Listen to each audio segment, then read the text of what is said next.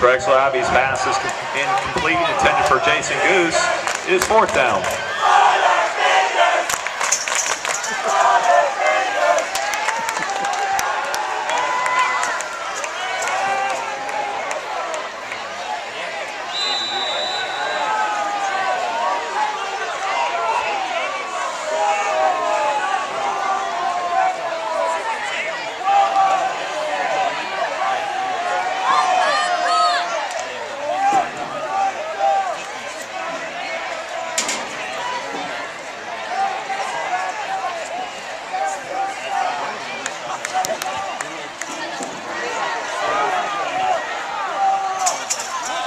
That's a good punter.